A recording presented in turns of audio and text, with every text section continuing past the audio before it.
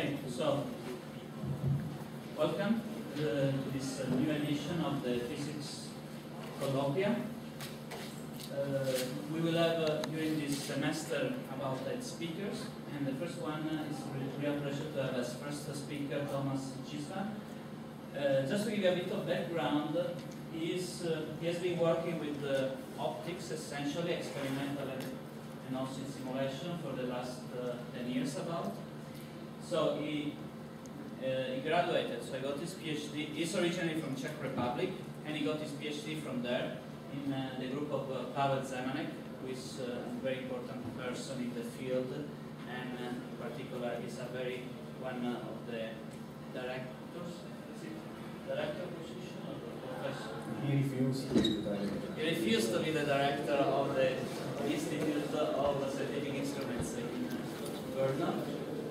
And after his PhD, he moved to St. Andrews in the group of Kishan Dholakia. Now, most of you are not from optical tweezers, which is a subfield of optics, but Kishan Dholakia is one of them, if not the main single uh, scientist in optical tweezers, still actively working in the field. So he moved in that group where he was postdoc for several years. He did a very successful postdoc, as you will see, I suppose that uh, he has several nature publications, I suppose he will speak about that, so we'll avoid those details. And he just got a permanent, uh, permanent position so that he can create his own group. Essentially, he was in St. Andrews, now he's moving to the other side of a river to Dundee, which is like, uh, what, miles. Five miles? Okay, so it's walking distance from where he was before. So let's welcome uh, Thomas Čižmár. First of all, thank you very much for the invitation. I didn't know I'm the first one. It's a uh, big pleasure. So, um, just to give you a little bit of background, um, as was said, I graduated in, in Brno. Brno is in Czech Republic. It's not the biggest city, which is Prague. It's uh, the second biggest city. But a couple of uh, interesting facts. Probably uh, you might know the name of uh, Johann Gregor Mendel, who actually is the father of genetics. Can you hear me in the back? There is All right. Uh, and then if, you, if you visit Brno, you actually you can see Mendel's original garden when he actually drew all these when he came up with the first rules. Brno is a place of uh, racing, if you, if you are into racing, especially bike racing, this is the place to be. There are very nice festivals with fireworks and nice exhibition center. And uh, this is the Institute of Scientific Instruments, is where I uh, did my PhD. Actually, recently uh, there was opening of new labs, very new labs called RDC, and very very soon they uh, will be needing manpower, hiring people. So uh, might be worth checking if you are looking for uh, some new career prospect. So um, after finishing my PhD, I stayed for one more year as a postdoc. Then I moved to St Andrews. St Andrews is uh, a little bit north from Edinburgh. It's a very small place of about, um, I would say, together 20,000 people, which half of them are students of the university. Um, it's famous, famous for quite a few things. There is the oldest golf course in the world, and if there is a dispute in any tournament, they have to call this uh, particular building here, is well here to resolve dispute. This is the home of golf. And uh, these two guys uh, actually met there. They both studied there. His Royal Highness and uh, his young wife. And as I mentioned golf, so just uh, to show you where we are. So this is Tiger Woods shooting on um, hole number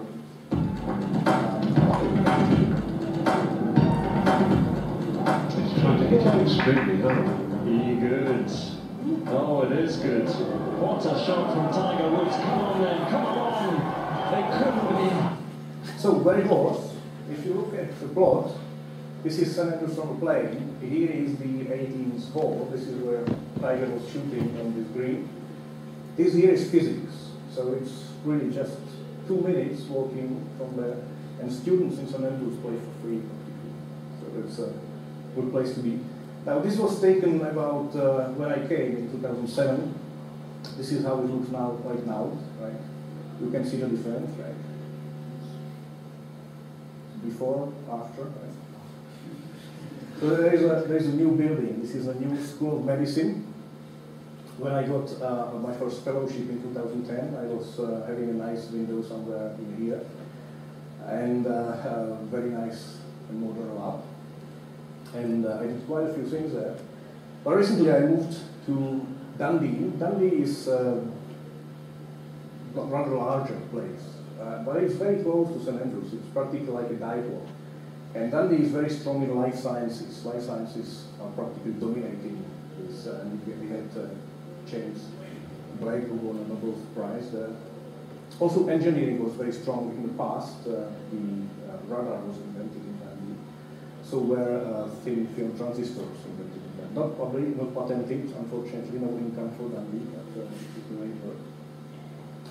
So uh, what I've been doing throughout the career is uh, in the middle of uh, activities on optical manipulation, beam shaping, imaging, and microscopy. And uh, I hope I'll convince you that this assembly might be useful in, in uh, many areas. So when it comes to biomedical photonics or photonics in general, I like to see this as using light and engineering light and its fundamental principles like transfer of momentum and transfer of energy to actually interact better in a controlled way. So when it comes to transfer of momentum, we can actually make optical forces on object, which is a foundation of what we know as optical manipulation. You can see on this example. Right, so this was my first goal for played in St. Andrews.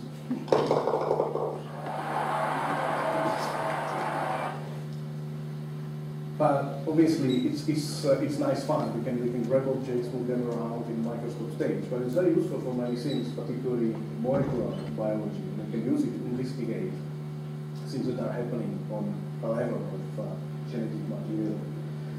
Also, we have transfer of energy that we can utilize in quite simple way. We can take a laser beam and just shoot some cells, as you can see here. We shoot cells, and unfortunately, they are heavily, heavily overdosed. That's why we see the bubble, and all these cells are going to die. But if you do it carefully, you can just allow a small opening in the cell membrane and access some molecules from the outer medium to get inside. They would be otherwise impermeable through the cell membrane. This is the way how you can transfect cells. You can, you can, for example, make them fluorescence or, or actually introduce any other fluorescent proteins or DNA basics, and this is the way how we can considerably modify the cell functionally, which can be very useful. Uh, this is an example where we still struggle with a good explanation. This is actually neuronal growth. So this is a neuronal cone, and for some reason, which is not really clear, it follows the light when it grows. So you can imagine that can be pretty useful. You can, uh, you can engineer this to interconnect individual neurons. We don't know whether this is caused by optical forces, whether some chemical changes inside or thermal effects, but um, it's pretty cool. Now the other big part of photonics obviously is imaging, and not only looking at stuff, but actually trying to find out as much as possible about the matter.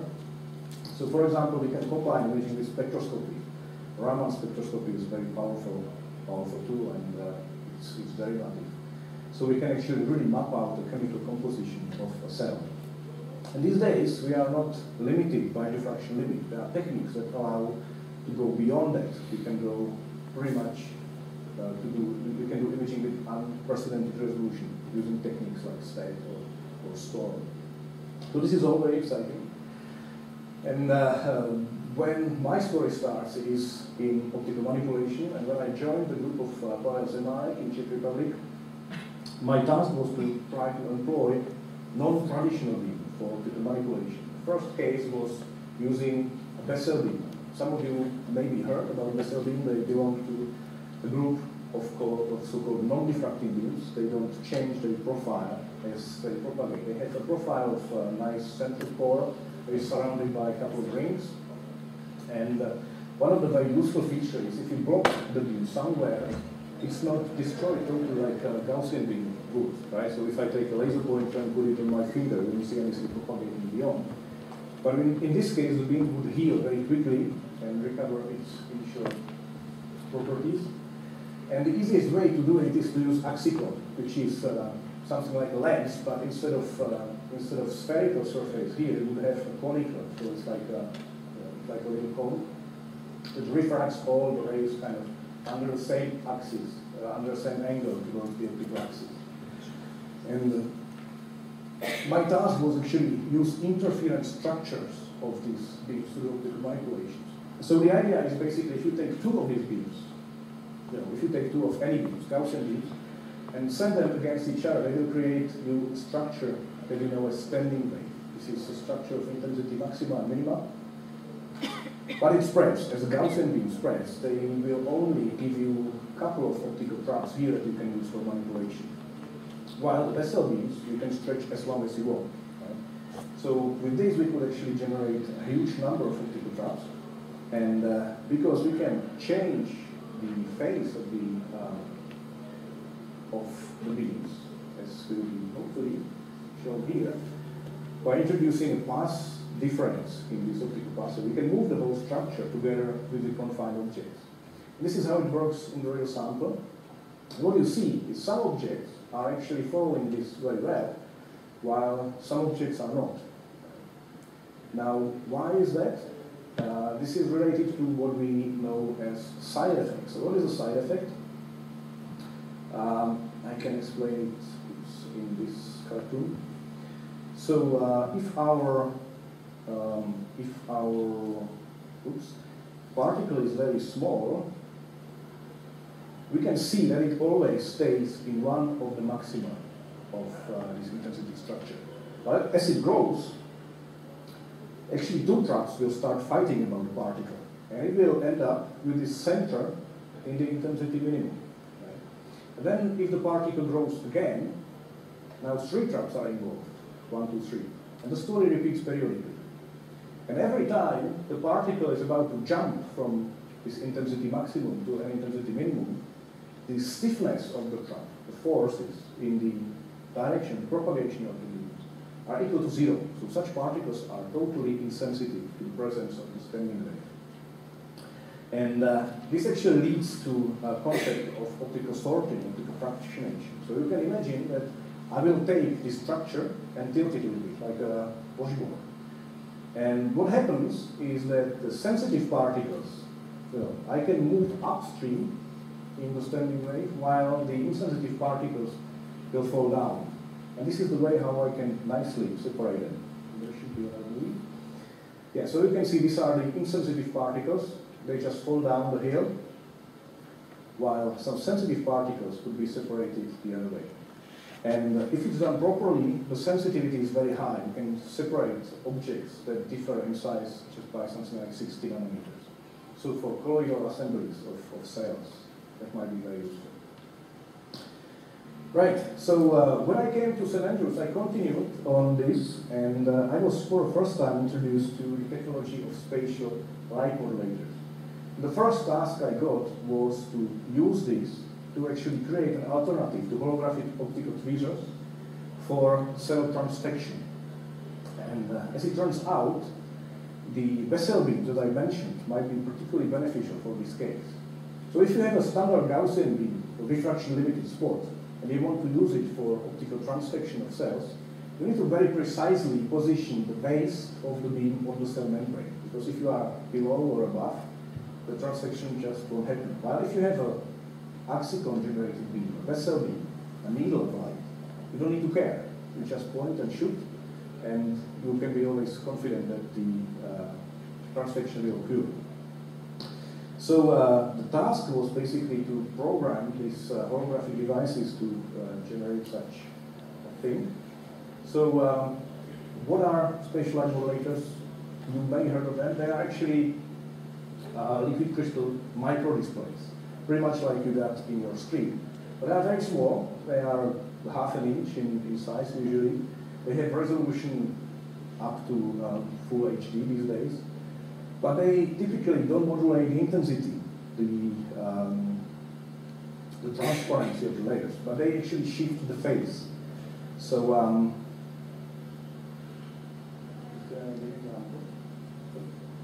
so actually you can use them to control the beam and split it in, in uh, many beams. That, that they can create a landscape of optical traps in your system if you wish. So all this is generated with one single spatial modulator and it's controlled by a computer interface. Right?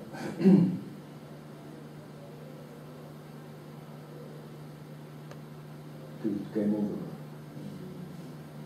So in, in this case, we would like to do something like that with the beams. And I built such a device, it's uh, actually quite straightforward because the spatial spectrum of the Bessel or the far field, is actually just an annular ring. So um, it's quite possible to, to make a point and click device where you just you know, point at the cells that you want to transfect. Um, use the same with the, uh, the cells. So these are Chinese hamster ovary cells being sucked to the system. So uh, the interface worked quite well. But on that, I actually found that uh, there is a quite a big problem with, the studies, particularly those that are generated by Axicon. So whenever you try to generate a nice Bessel beam with an Axicon, you face two problems. First of all, the Axicons are never perfect. So because they are conical, the tip, it can't be made really sharp. It's always kind of a. So you can imagine that from your tip propagates sort of spherical wave, and it interferes with your remaining Bessel beam, creating kind of axial oscillation. So if you really want to have something that is nice and flat and uniform and propagates along very large distance, this is not a good solution. So I was looking for a way how to create a beam that really propagate uniformly over a certain extent and then just fade. And uh, this is the theoretical prediction. This is the experiment that I made. But to get from here to here, it took me pretty much one year. And the reason for that was that uh, this field is extremely sensitive to optical aberrations, which is what I'm going to be talking mostly today about. so, what are optical aberrations? If you look around, you'll see a lot of people with glasses. This is because they need correction for the aberrations. Optical aberrations are present in any optical component that you, uh, that you can buy. So they are already in lasers, in microscope systems, in any kind of optomechanics detectors, you name it. So um, just to kind of uh, get a clear picture, this was my daughter uh, three, four years ago. When I was when I started to work on the aberrations, she was identified by with a very diagnosed with very strong uh, astigmatism, very strong aberration. So to explain a kid what an aberration is, uh, fortunately there is Peppa Pig, right?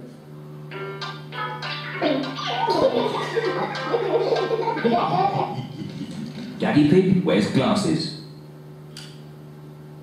He needs to wear glasses to see clearly. When Daddy Pig wears his glasses, everything looks fine. But when Daddy Pig takes his glasses off, he can't see things clearly. Everything looks a bit soft and fuzzy. So it is very important that Daddy Pig knows where his glasses are.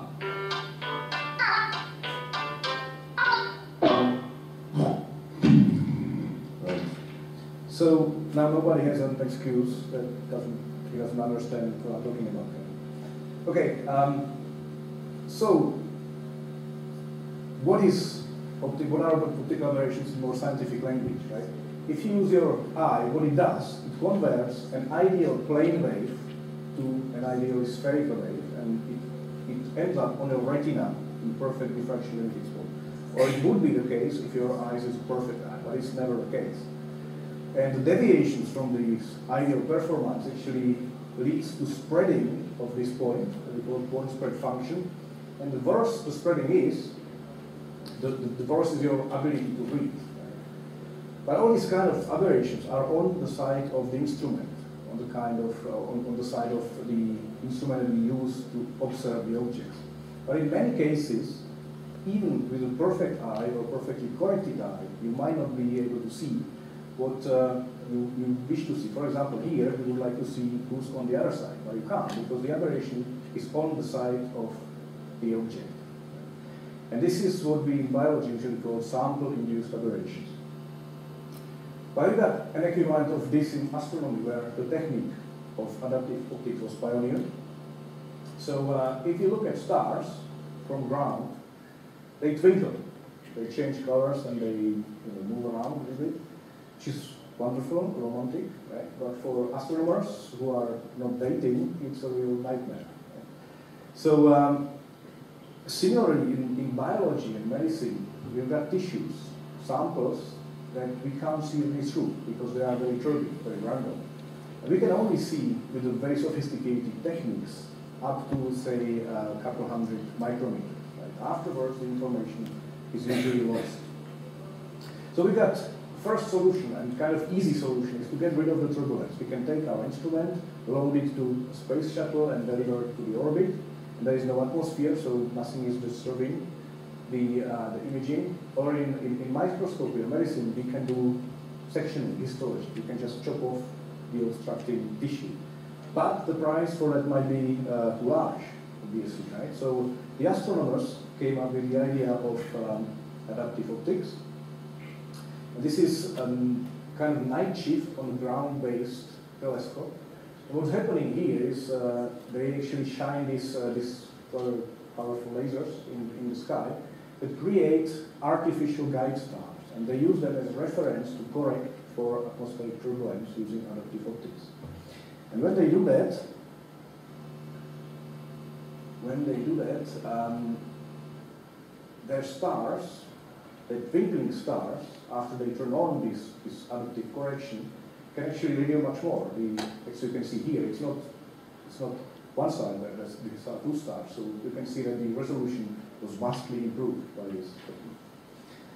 And uh, the question is whether something like that is possible in, in biology and medicine. And what of that was done, but actually coming back to my problem of optical aberrations in generations of the Bessel beam actually turned out to be a very good solution and uh, uh, it kind of started to define the rest of my career.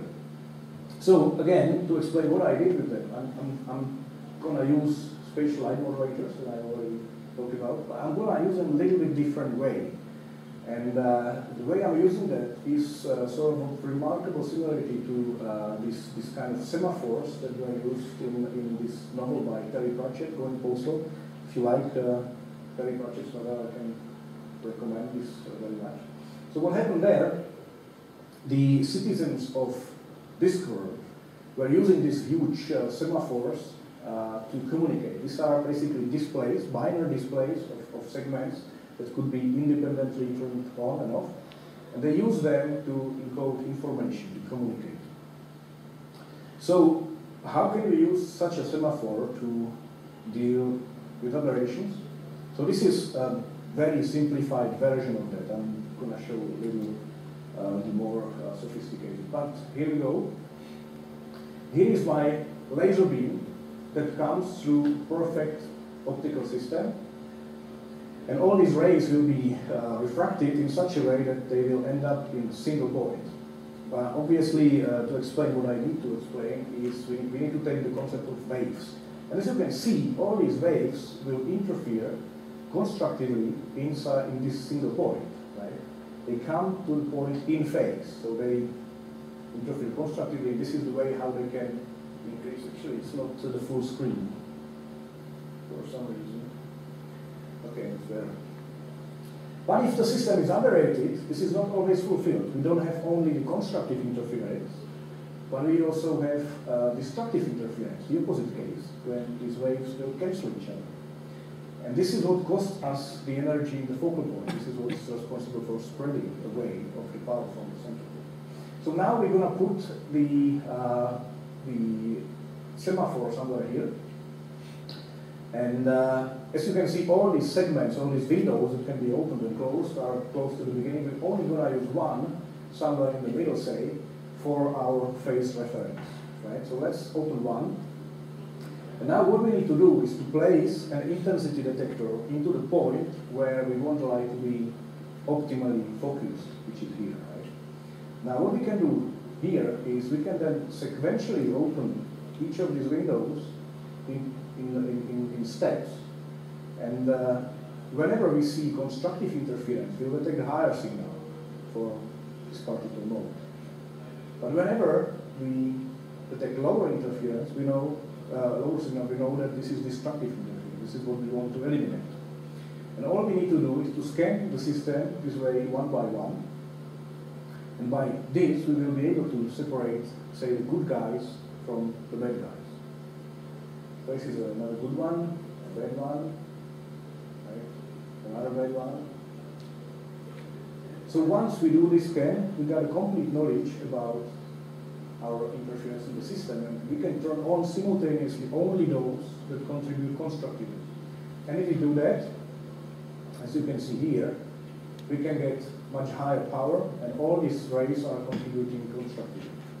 But as I said, our spatial light modulator is a phase modulator, so we can do more. We can actually compare these, these, these bad guys, these interfering non-constructively, and we can phase shift them in such a way that they will actually contribute constructively as well. And here you can see that with that even totally aberrated system, totally random system, we can get the full power into the focal point.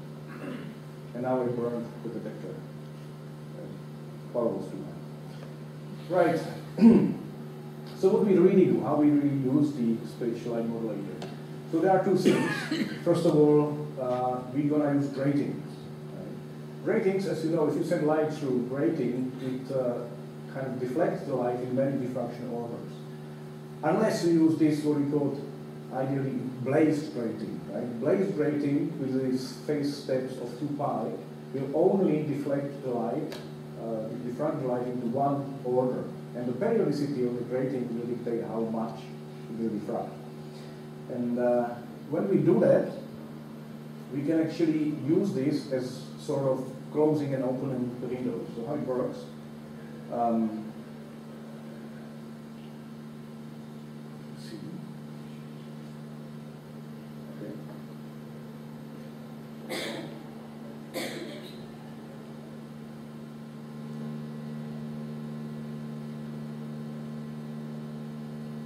Correct. So here is my beam somewhere in the system has some kind of Gaussian profile and has some phase distribution, some aberrations.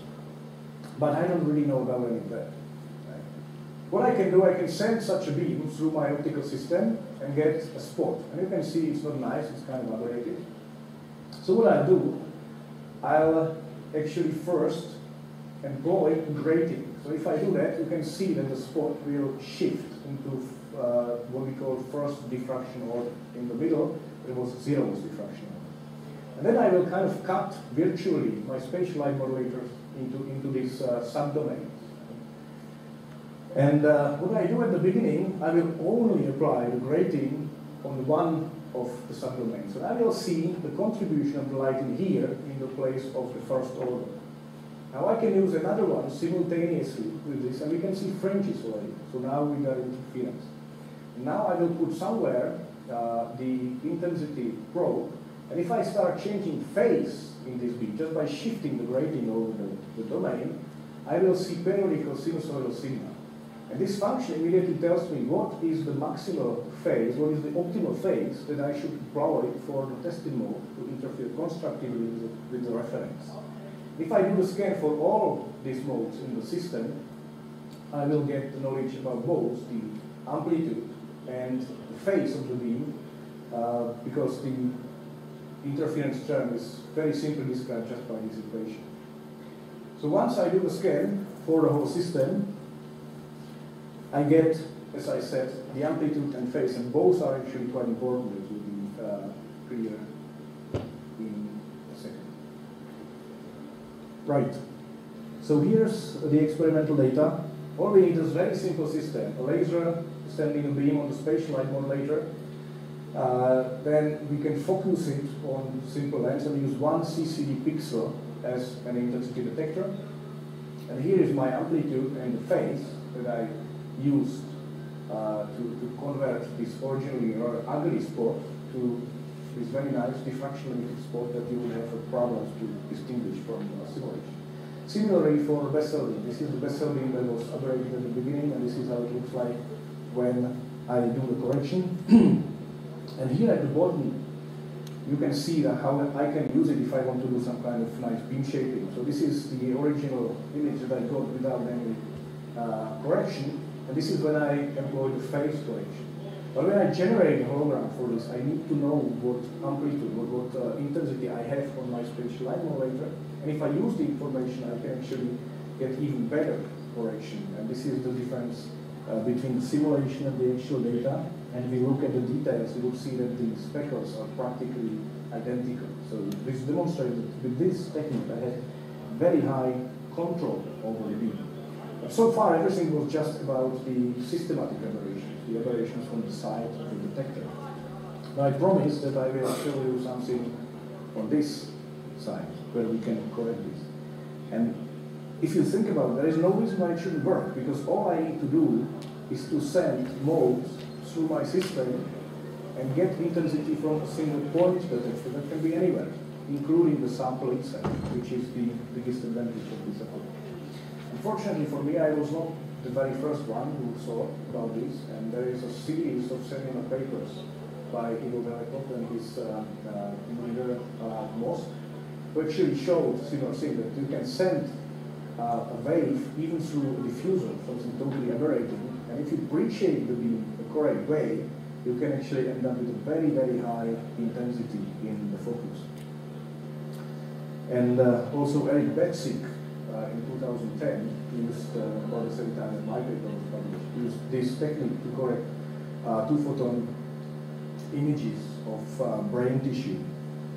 So just to show you the power, we actually decided to, to try to do it in trapping application, which is what uh, I was uh, developing in St. Andrews. So here you see how it, uh, how it can work. Right, here is the beam as it comes from the laser. This is what happens if I correct for the systematic aberration. But what I'm going to do now is I'm going to introduce very highly scattering tissue phantoms. It's uh, basically a, a, fixed layer of, of uh, kind of frozen colloidal mixture. And you can see speckles all around. The beam when it passes through it, it scatters all around. But I can select a point and intensify the beam in the single point very strongly, regardless of the aberration. Unfortunately, it's very specific to place, so if I move the aberration, you can see it's, it's almost lost. But the ratio of the scattered signal and the intensified signal can be exceeding a couple orders of magnitude. So it was published in, uh, in uh, Nature Photonics. It was sufficient for optical trapping. And uh, in a little more accessible way, it's uh, described in this um, review paper. Now, recently there have been development on this. Excuse me. So, first of all, um, if you're lucky enough and your aberration is very planar, it's maybe a sheet or, or thin diffuser, uh, it turns out that you don't really need any probe inside. Right? So it's, it's, it's uh, kind of related to what is called a memory effect. So basically, if you take a laser beam, send it on your diffuser and start changing the angle of incidence, what will happen here is the speckle distribution will remain the same, it will just uh, shift its place. So if you do scanning like that across the whole sample, right, you can find out that you have enough information to recover first what was the speckle distribution, what was the object, which can be very useful. So you can actually recover the object even without the knowledge of the speckle pattern and vice versa. And also having a solid probe somewhere in the sample, what I use was fluorescent particle, but can be many other things. Having it inside the sample is not always convenient. Right? And uh, therefore, these, uh, these people actually thought whether they could use something much less invasive, and they come up with the idea of using ultrasound. And it shows, uh, this, this paper shows that uh, obviously you would expect that uh, if you use the ultrasound, you can get the resolution of the ultrasonic signal. But you can go beyond it. This is all based on uh, acoustic effect. So basically, if you send an acoustic signal into, say, a tissue or a fluid medium, and then you send an optical wave in it, it will be frequency shifted of the frequency of uh, the ultrasonic signal. And this is what you can separate from the remaining one. But you could expect that it will be only uh, reaching the resolution of the acoustic signal. But using the tricks similar to stem microscopy. They managed to squeeze it up to the optical line. So yeah, if you are if you are lucky enough and you can use all these techniques, you can do really imaging inside the media, uh, having this, this ultrasonic signal as your assisting calibration device. But my strategy was uh, a little bit different. I tried to use optical fibers as, as endoscopes. So obviously you all are familiar with the concept of endoscopes. You are probably well know that uh, they are based on, um, on optical fibers. And how optical fibers works, they, are, um, they rely on total internal reflection on the wall. So if you couple light into media that is uh, that, that, has higher refractive index than the surrounding media, it kind of guides the light, confines the light, and can be only uh, taken out once, uh, once you exceed the angle of total reflection.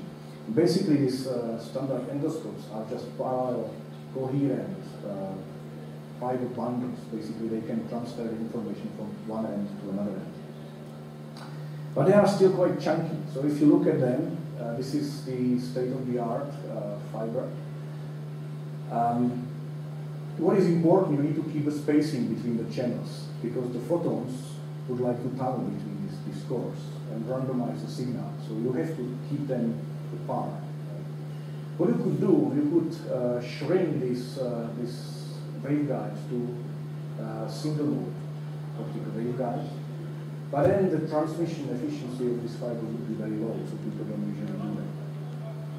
But if you could deal somehow with randomization, if you could deal with photons jumping from one core to another, you would maybe not need to have any cores at all you could, you could merge all of them into one central bond. That would be actually what you know as multimode optical fiber. So let's have a look. Can a multimode optical fiber work as endoscope? Possibly, right? And uh, these days we have sort of um, uh, sort of modalities and technology that uh, is usually based on these gradient index lenses So basically you can drill a hole into my mouse skull. But this, this uh, equivalence of fibers, they are in diameters in, in order of, of one millimeter, which is not really big help. So how about a standard multimode fiber that you can buy from Thorlabs? Right, so what happens if you send a light into one end, coherent light into one end of the fiber? What you get on the other side is this, this speckled pattern. But as I showed, we could deal with such speckled patterns, right? If we apply this waveform correction, we could probably be able to convert this to this. And in this sense, if we can do that, we could actually use multimode fibers just as objectives, with having the advantage that they are so narrow. They are uh, typically in the order of uh, tens to hundreds of micrometers, which is much smaller than the uh, endoscopes that are being used today. And in this case, we could actually probably transfer or send the fibers into tissue through the narrowest of optical, uh, surgical needles. So this is what I actually done already in 2009. This is a multimode fiber, and I show that I can actually make point at the output of the fiber much stronger than the surrounding uh, speckled pattern. But as, as you can see, there is still a lot of noise. One of the reasons why there is a lot of noise is that uh, you need to do quite a few things to, to eliminate it to allow a good performance. So what needs to be done is to take care about all the aspects how light is randomized, including not only phase, but also polarization and the amplitude. So how do we do that? This is the standard way. This is my spatial light modulator. This is my reference. This is the testimonial. Uh, I'll send the resulting interfering structure into the multimode fiber and look at the other end when I see a point, I can measure the intensity in there, and while I change the phase of the testing mode, again, I can see the sinusoidal signal and find out what is the best phase to interfere constructively in my effects. And if I do it for all these points at the end, I can actually build up a transformation matrix between these input modes, these, these squares from my spatial modulator, and the output points at the, the, the fiber. So how I need to modify to allow the polarization? The way I have done it was basically using two different gratings for my signals. And then I coupled the light in this Fourier plane from two different zones into the same fiber, but one with polarization rotated. So it was one of the tricks. The problem is if I send only the internal reference mode into the fiber, I will still get a speckled pattern. Whenever I, I have random interfering structures, there are places where the intensity is equal to zero. In such places, I can't use as a reference because there is basically no signal that will give me, uh, that, that, will, that will provide a reference. So uh, instead of that, uh, I used a single mode fiber, and uh, this gives me a nice and smooth overlapping, uh, overlapping signal that uh, doesn't have this problem. When I done that, um, this, I could actually completely or almost completely eliminate the, um, the, the noise as you can see here. So this is the result. And I can easily combine as many points as I want at the end of the fiber and I can also create any landscape this, uh, that I want. And obviously because I was doing a lot of optical trapping, I kind of wanted to show the power of that on this example. So um, you can see um, optical trapped objects from light coming from multi-voltage fiber. It's quite a nice thing. The white light also comes through the fiber. I had, I had to use some kind of uh, white light signal as an indication. Right. So this was all about pushing light, you know, pushing light through the fiber in a way that it will, it will result in something I want. But imaging is somewhere more difficult, somewhere more complex, because we have some random signal, we don't know what it is, but we need to recover what it is from the other end. Now, how, how this works? So let's look here in the middle. This is my sample, and I'm going to look at the sample from two different sides.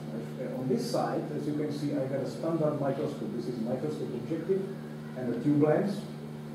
So microscope objective, what it does to the light, it, it does Fourier transform. Right? Then I have a tube lens that does also Fourier transform, which efficiently in, inverts the first one, and I get a copy of the field of the sample on the CCD. So this is how I do the imaging. Now on the other side, I have a multimode fiber. Multimode fiber also does some kind of transformation. It's uh, some bizarre random stuff, but I can invert it, and that's why there is all the optics, including the SLM, and it's all designed in such a way that here on this CCD I will get the, um, the uh, unscrambled image from the sample. Right, so how it works, um, we can show on, say, this example of uh, particles. So now we are looking at fluor, not fluorescent, uh, polystyrene particles in the system. This is with a standard microscope on the left side, this is uh, through the multimode fiber. You can see it's pixelated, so uh, it's not absolutely ideal, but as a demonstration that it can be a uh, valid concept, it's uh, probably sufficient. The good thing is that we can keep some modalities of microscope using that. For example, dark field. All I need to do is to introduce a dark field filter before I couple the uh, laser light into fiber, and I can convert nicely uh, images to dark field, which allows me to see much uh, smaller objects that I would be able to see with bright field. Right. Now, whenever it comes to bio applications, the, the bio people always want fluorescent, obviously, right, because it's much more powerful. So um, I also converted the system to provide fluorescent imaging. In this case, what we are doing is we are scanning very quickly a number of points, one by one, at the end of the multimode fiber. Now the problem is with spatial light modulators, spatial light modulators, I could never reach the speed. So there is a trick, there is a combination of spatial light modulator and acoustic deflector. And the encoding, the hologram that I sent on the spatial light modulator is designed in such a way that for every single angle, for every different angle that I illuminate the spatial light modulator, it gives me a different spot. So basically I have a static hologram here, and for different angles coming from the AOD, I get different points here, and this is how scanning is achieved. Again, it's going to be a comparison. So this is again the direct preview with the standard microscope. You can see actually the scanning of the points, but you can't see the scanning. It's so fast that you can't see it. But this is what I actually get um, through the optical fibers. Uh, sorry, what I failed to say is obviously the, um, the, the, light signal here creates this, this spots. But what I'm looking at is a fluorescent response that I collect backwards uh, from, from the fiber and detect on the photomultiplier tube. Right. So here we are looking at the fluorescence, but because we know where the point is and every single time we can properly associate the, response to position, this is how we can build the image, basically the very same way as you do it in any other scanning technique. but the resolution is very low, as you can see. But we can do we can do tricks. We can actually um, introduce more holographs. We can interlace between the points as you will see in a second. So now I'm actually kind of shifting four sets of these, points, and I can increase the resolution on the account of the speed, obviously, as much as I want.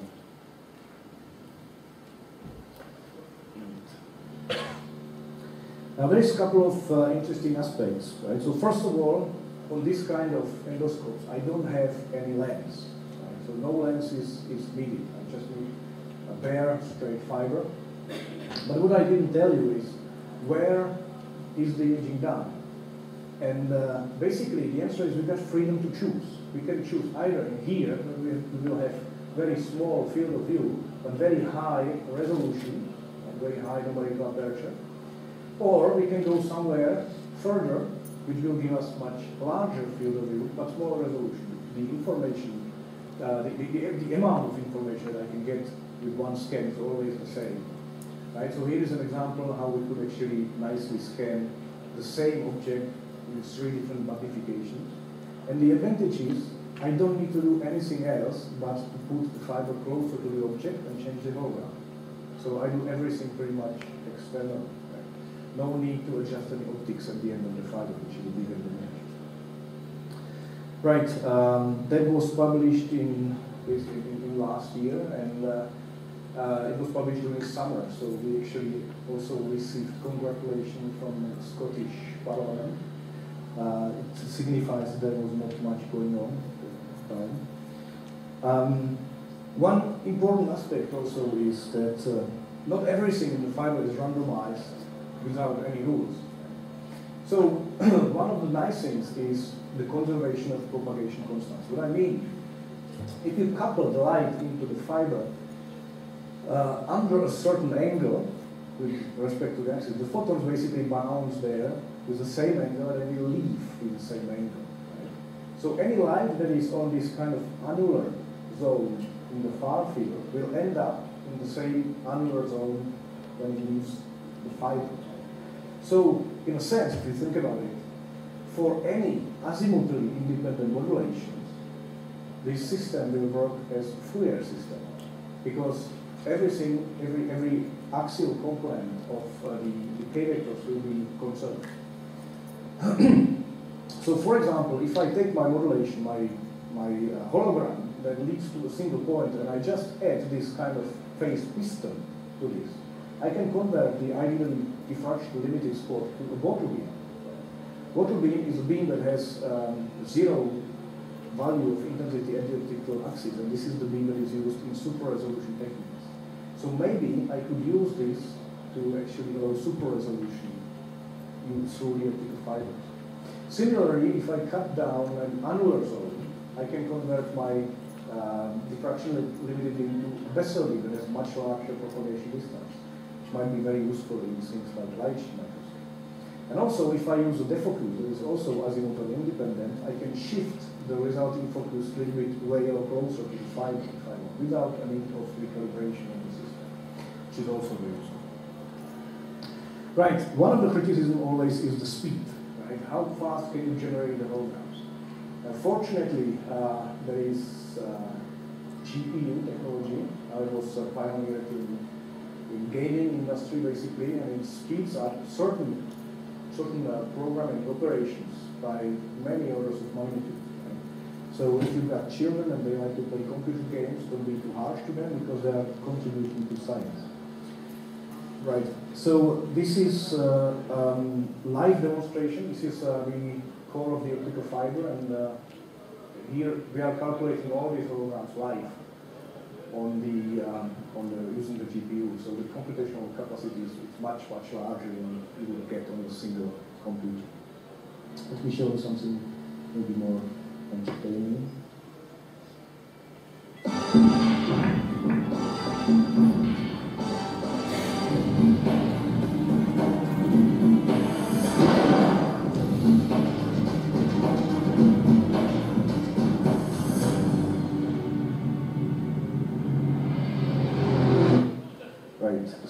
Projection of James Bond movie. Right. So, um, what is the next step? The next step is actually use it for something useful. So, um, this is uh, Nigel Emptage, he's a dean of Lincoln College in Oxford. He's a neurobiologist. And he's particularly interested in this region of brain uh, called hippocampus, which is uh, where, which is, which is basically a, a, part of the brain that is responsible for formation of memory. And uh, very interesting processes are happening there, but it's very difficult to observe them. And uh, we hope that this technology could allow to see these, these uh, processes that lead to uh, presynaptic connections and other things. So we are actually now developing the system for these particular uses on uh, transected mice. Now, a couple of related projects. This is a this is a light. This is a concept of light sheet microscope. This is an alternative to confocal scanning. Basically, in confocal scanning, you take a point and kind of scan your sample and collect the intensity, and then if you if you change the focal plane, you can get a section from another focal plane. And uh, the alternative is to use a light sheet which is a different kind of sectioning. Basically, you send this kind of sheet of light across your sample, and then you excite the fluorescence only in a certain plane. Then you can scan this, this plane nicely through the sample and build up a 3D model of, uh, of the object. Now, in St. Andrews, this is an idea of, uh, of uh, my colleague uh, Tom Vettenburg, basically most of the people use these, these Gaussian beams and scan them to do the light sheet. But there is a trade-off, right? So the narrower you want to have it, the shorter will be your field of view. So there is a trade-off between resolution and field of view. But we, we actually found, or Tom actually found that if you use different kind of beams in connection, in, in, in uh, connection with uh, deconvolution algorithm, we can actually recover much more. We can, we can make much better trade-off about an order of magnitude better than it was possible with the Gaussian beam. So this is uh, this this beam is called an Airy beam. It can be quite easily generated. If you deconvolve, uh, this is a comparison between the Gaussian and the uh, Airy. You can see that the field of view is actually much much larger and the same resolution. Now similarly, I was playing with a light sheet uh, coming from my optical fiber. So we can imagine this is uh, light sheet that comes from the fiber and changing the hologram, I can actually move it up and down, as you can see here. This is how I can do quite easily the section. So this is a scanning light sheet. And if I put it inside my uh, my sample, and here I only have fluorescent particles, but you can see how they blink, right? So every time the sheet goes through the particles, they blink. And I can collect all these images and then I can quite nicely recover what's going on in the sample and build up a, a 3D model of, them. So I'm still working on it, this was not published yet. And uh, this is another, this is not that related, it's still related to holography. This is a work that I contributed on um, on this, uh, this kind of uh, projection system for photovoltaic retinal prosthesis. Basically, uh, there is a lot of blindness in the world, even in the developed world, and majority of this is because your photoreceptors will die. Right? And uh, what is good, the good news are that you still have the neurons that will take the information and transfer them to your brain. But they are kind of lazy, they are talking to each other, but they are not functioning. But you can stimulate them. You can stimulate them using this kind of photovoltaic prostheses. These are just uh, basically photodiodes. And if you illuminate them, they will give you the missing action potential. You can, you can basically make them work exactly as the photoreceptors. Unfortunately, they, are, they can't work with the ambient light because it's, it's very weak. Uh, so you need to send there a lot of optical power together with your image information And uh, uh, that's where the problem is because it costs you a lot of energy. If you want to power this kind of uh, device that sends you the laser light into your eyes, uh, it's very difficult to, to do it with some kind of pocket-held battery. So efficiency is very precious. And the first, the first uh, models of this of this uh, projection system use just standard LCD, but LCD kills the light. Right? It makes the, uh, the liquid crystals are basically either transparent or not transparent, but if you want to create an image, you have to kill a block of the light. Well, if you use holography, you don't kill any light, you just redistribute the light into the places that you want, and the efficiency can be very high. So uh, we designed there this kind of uh, alternative that is based on holography. Is a spatial light modulator here, and uh, uh, obviously we have to test it first on mice. So this is uh, the spatial light modulator built on this is called lamp. There are those somewhere there. And uh, the way to test the, the, runs is basically, they can tell you, right, I, I see stuff. What do, you, what you have to do? You have to somehow steal information from them, which is done usually using um, uh, visual evoked potentials. Basically, you send some kind of checkerboard structures to their eyes, or, or just stripes, and then you move them. And then you put a couple of electrodes in their heads and collect the signal. And if you see correlation, you know that they see. Right? So uh, here are some, some results. So this is uh, zero is the time when we swapped the holograms, and you can see there is a, some kind of response after 200 uh, uh, milliseconds from that. So they actually can see what they are sending in their eyes. Right. And the last bit is a recent work on tractor beam. I'm not going to go too much into details. Uh, so this is actually a project that took incredible seven years, and it was the last thing I started uh, in the group of Pavel Zemánek. Well, uh, so basically, what is what is a tractor beam? Um, if you ask any scientist who works in this area, he will tell you something a little bit different. So my vision of tractor beam is that it's actually an optical field that is static, right? So we don't play any tricks like with optical tweezers to move the particles towards you. Uh, it moves the object towards the origin of the light, right? And uh, it's basically based purely on the light-matter interaction. There is no heating effect involved or any other medium, right? So um, we actually came to this uh, possibility by an accident, but we were not the first one, and we found that it was actually published even before.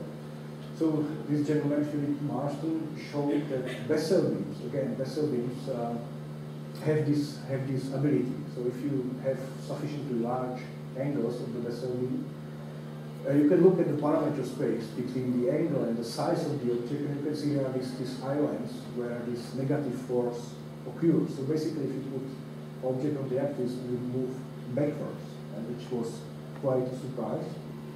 Later on, Jack Ng actually showed exactly the same thing in optical domain, and to our surprise, we managed to publish that in Nature Photonics. But it kind of opened the window for us. So um, our way, our, our idea was actually not do it in Bessel because it turns out it's extremely difficult do it in the Instead, we just use two beams to actually um, to actually simplify the geometry and to make it even more simple. Uh, we use only one beam. We use only one beam that reflected on the surface, so it um, eliminated any alignment issues. And actually, we could see successfully the tractor beam to. And not only that, but we could see that this geometry is particularly suitable for optical sorting. So uh, some particles, again, are very sensitive to this force, some particles are not. So if I put a mixture of particles inside the tractor beam and just turn on the light, you can see the big objects are here and the small objects are here. Uh, so it's very efficient. It was uh, live, the video was not sped up. And uh, again, there was quite a lot of, uh, lot of press releases because of the parallel with Star Trek and other things. And uh, it was not really uh, very fair towards my Czech colleagues, especially from uh, British media. So I always joke that the British side didn't really invent any, any, any tractor beam, but there was an alternative beam that looked like this.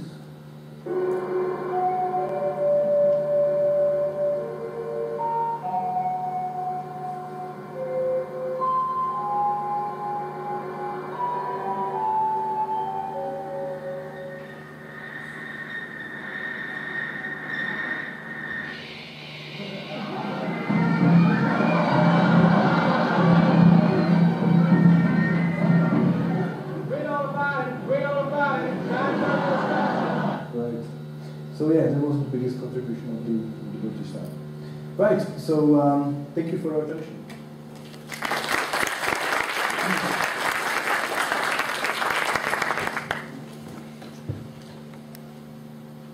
Okay, thank you for this very interesting talk, and uh, we have uh, time for questions.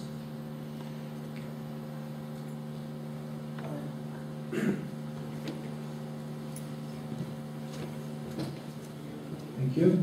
Uh, we had a similar, uh, we had a talk similar in this subject uh, in the beginning of this year, I think. And uh, the idea was again uh, to look at look at the object behind some uh, some dust, some paint, and the, the, the, the, way they do it again, forming a transmission matrix uh, and converting it uh, something. Reverse it. And here you do this, as far as I understand, using a multiple uh, fiber. Can you, I mean, I'm just asking, how can you increase the accuracy of this process by increasing the size of the multiple fiber? Like if you use more modes in the fiber, that means that you, you are using a bigger basis and then you are making a better calculation for this? Is, does that make any sense? I don't know. Uh, I just uh, want to make some relation with that. Right, so every multi-mode fiber that you take has two important parameters. One of them is the size of the central core, and then the other one is the numerical aperture. The combination of these parameters tells you how many modes you have in the system. So the more modes you have, right, the larger area you are able to control, obviously but the, the sharpness of your tightly focused spot at the end will be dictated purely by the numerical aperture. So you can increase the size of the fiber, but this will make you, this will cost you something, particularly the calibration time will take longer because you will have to scan more modes at the output and at, at the. Right. So yeah, numerical aperture is, is basically what defines resolution. Uh, if I do everything right, I can squeeze over 90, 95% of light into the single spot at the moment. Thank you.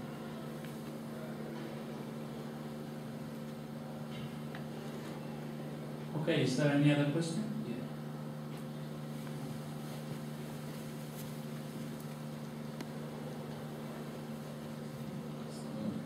At the beginning of your presentation, you show the axicon and uh, show how you improve the quality of axicon Mm-hmm. uh, with SLM.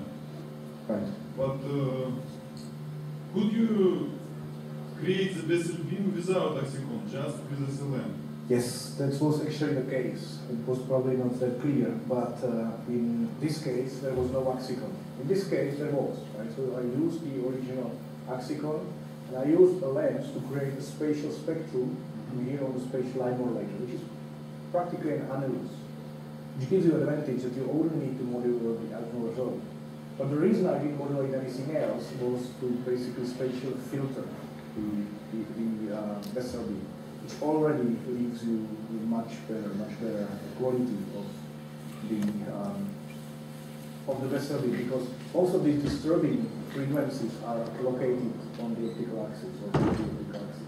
But this was done totally without any maximum.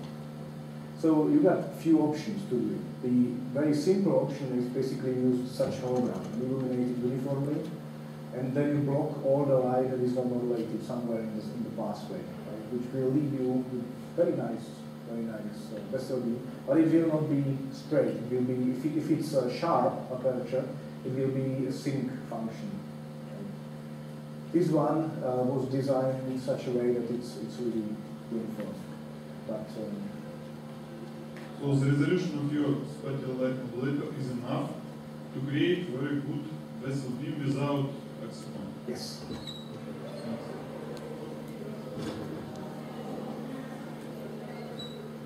Okay, so let's thank Thomas again.